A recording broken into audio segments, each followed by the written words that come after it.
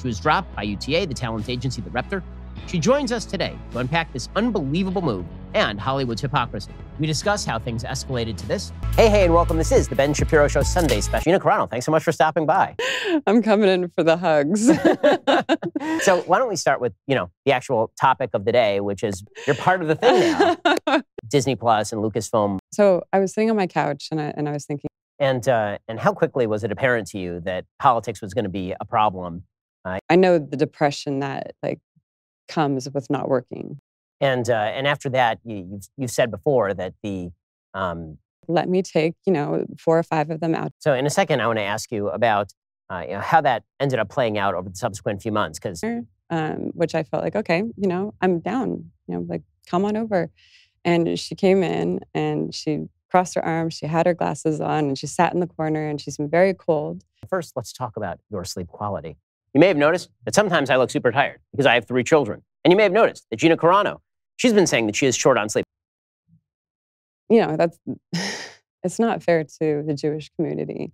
Uh, so let's talk about that in just one second. First, we have to talk about life insurance. So here's the deal. It's kind of hard to find affordable life insurance. People do it by word of mouth.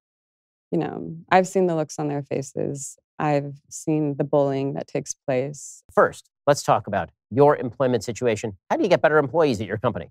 It can be really tough to find the best candidates. Finding great candidates for a job and hiring them it can be like trying to find a needle in a haystack. The response has been um, basically that's that's why I think I've been in tears. You know, like this overwhelming people sending me. I mean, when I am at like my lowest, people are like pulling me up in, in droves. Uh, we're moving through the sort of timeline here. We'll get to that in just one second. First, there's never been a more important time to protect your internet activity than like right this moment. This is why I urge you to get Express VPN. Everything you search for, watch, click online, it can be tracked by big tech companies that can then match your activity to your true identity using your device's unique IP address. I've been through so much and I've seen so much now clearly of like the bullying that's been taking place. And I saw it before. It's not like I mean, I'm not the only one that's ever been bullied by this company. And I know that.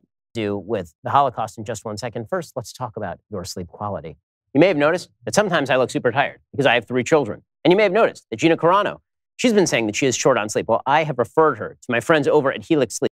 And do I really even need to say anything? Like, you're showing it. You're showing what you do to people. You are too much to work with.